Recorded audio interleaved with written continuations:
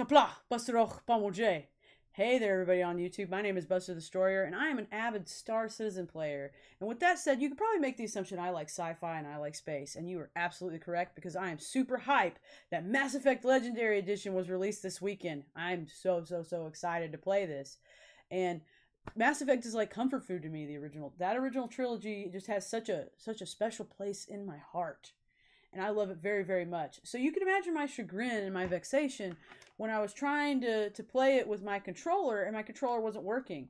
When I load up Legendary Edition and I'm in the menus to select which game I'd like to play, it's recognizing the controller just fine. But then I get into Mass Effect, the original game, and it's not it's not working. And I couldn't understand why. I did like 20, 30 minutes of troubleshooting and I figured out what it was. It's my Thrustmaster sticks, my, my T16Ks. They are I once I unplugged those, my Xbox controller started being recognized by Mass Effect, the game itself.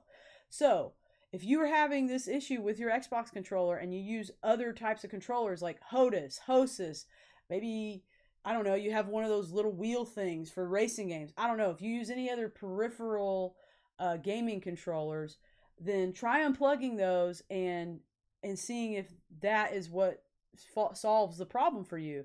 And uh, and if this helped you, please let us know in the comments below.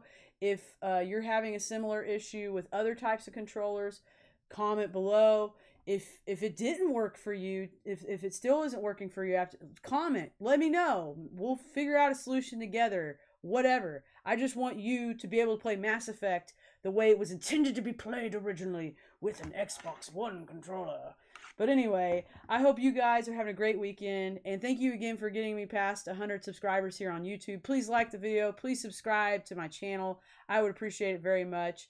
And uh, I just I hope you're having a great time in Mass Effect, whether you're new to the franchise or you're old to the franchise. I'd like to hear about your experience, and I'd like to hear how much you love Mass Effect or how much you know you're beginning to love Mass Effect.